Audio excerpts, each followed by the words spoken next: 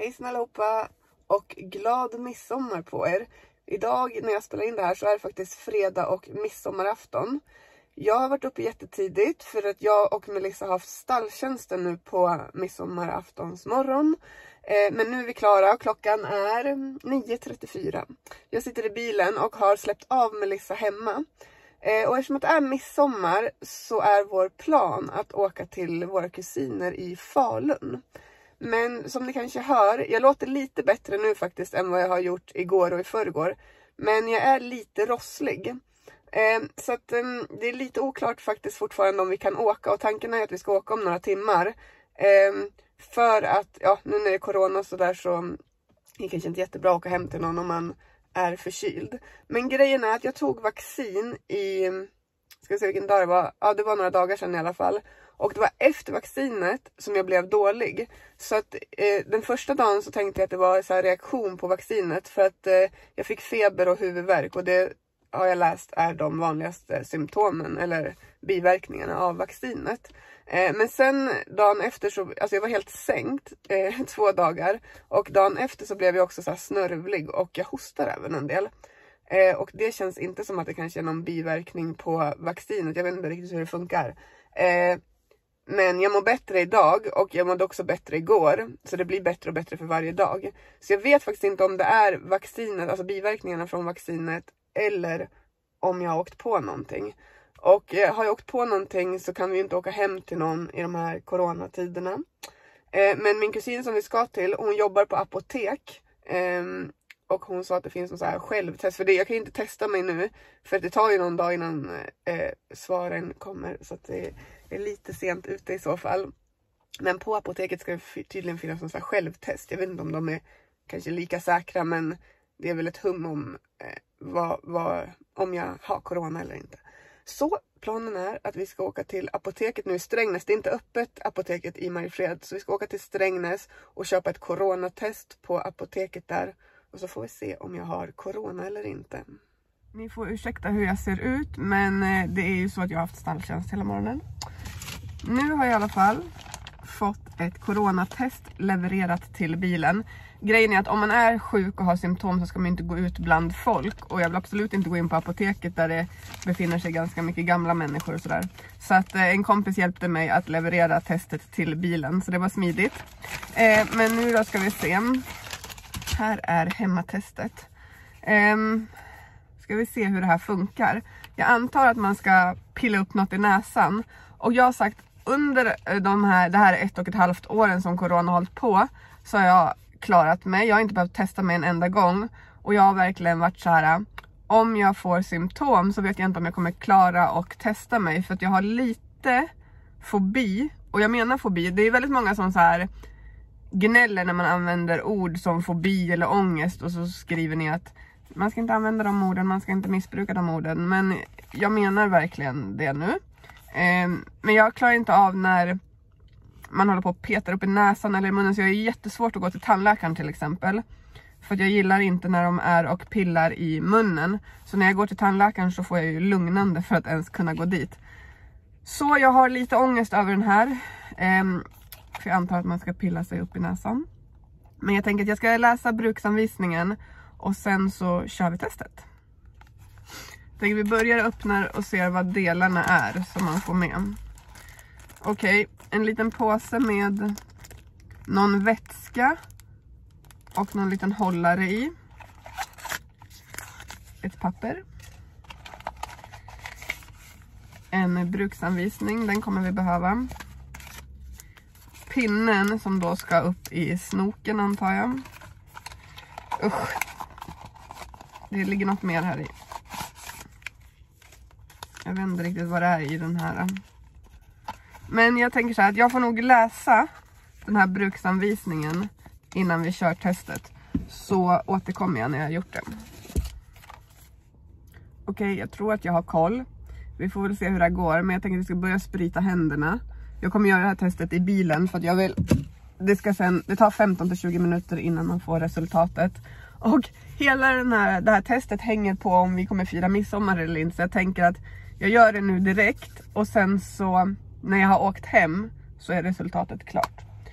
Um, jag har spritat av allting här där jag har ställt grejerna. Och nu ska vi ta upp den här lilla ehm, vätskan och hälla i det här röret. Jag måste läsa ordentligt. Öppna den bortvända. Okej, okay. så jag ska öppna den här nu.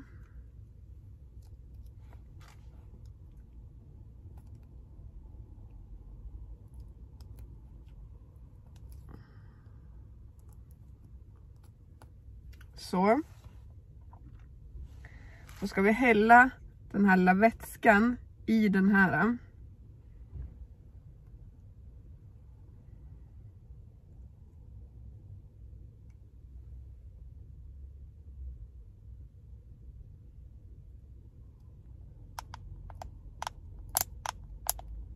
Så det var ju väldigt lite vätska.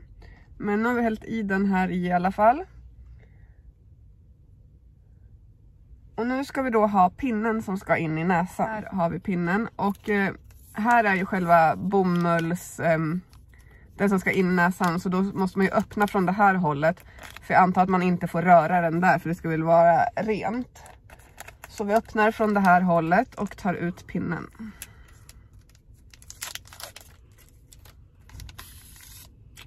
Tada!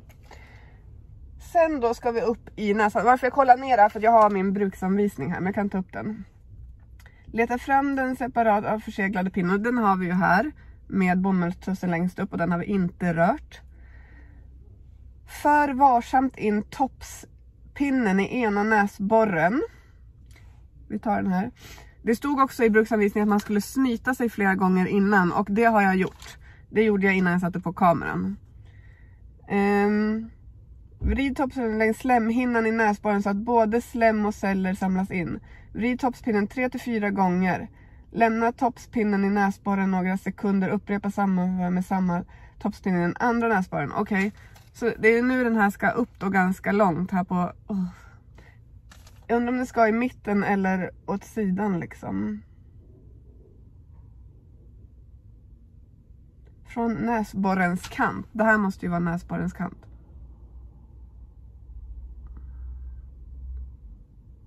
Oh. Mm. Mm. Okej, okay, den ska sitta kvar här en liten stund. Ah.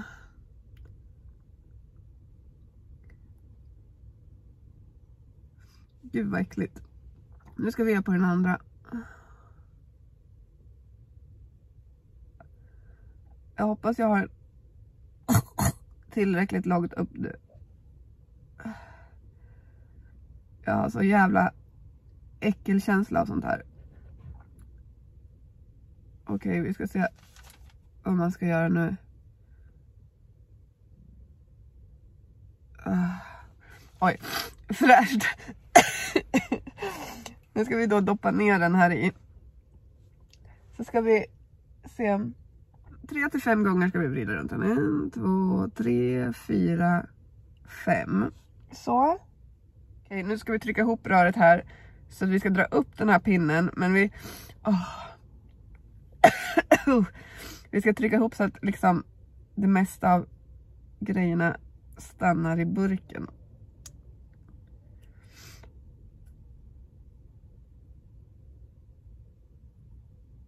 Usch.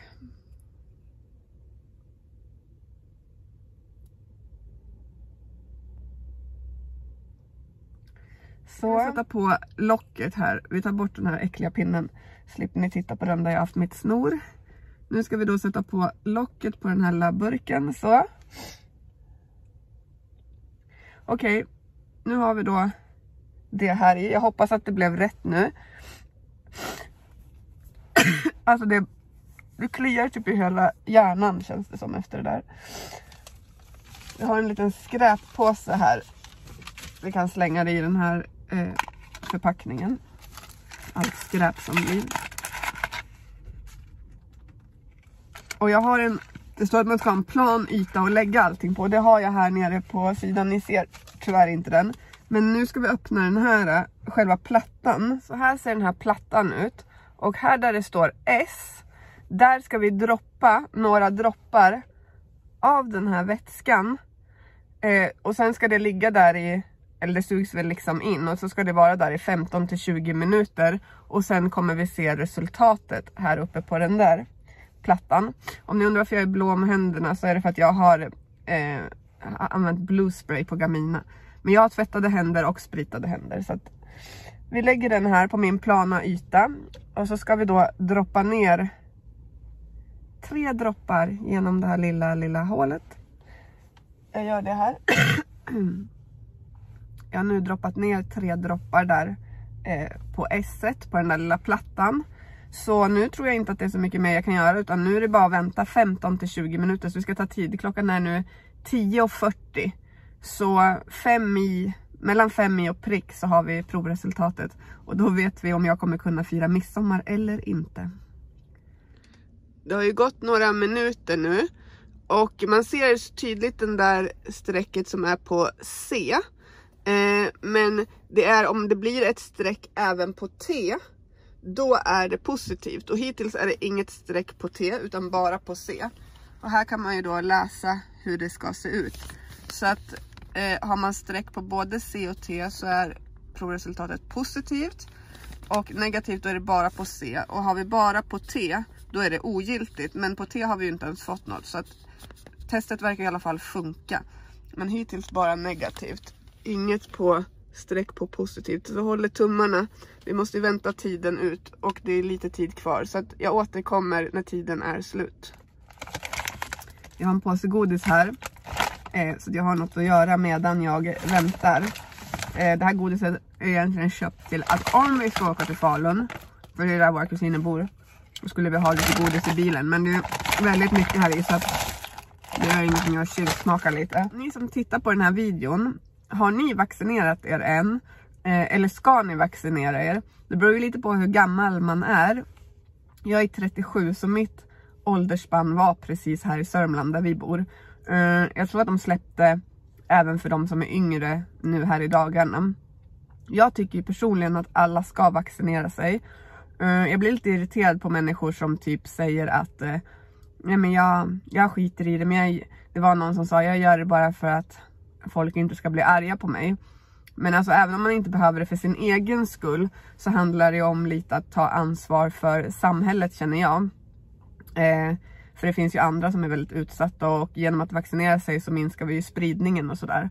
Plus att jag tycker att även om jag själv inte anser kanske att jag skulle behöva vaccinet så har det här året varit så sjukt tråkigt och jag vill bara få tillbaks allting som det var innan av egoistiska skäl för att det var roligare innan.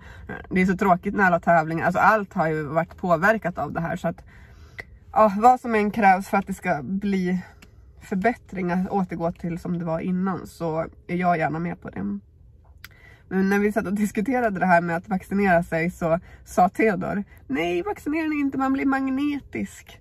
Och jag trodde faktiskt att det var sant, för jag har ju sett några som har testat att sätta så här magneter på armen, men Eh, när jag och Theodor sa det så skrattade min man och mina kusiner åt oss och de sa att det bara var en myt.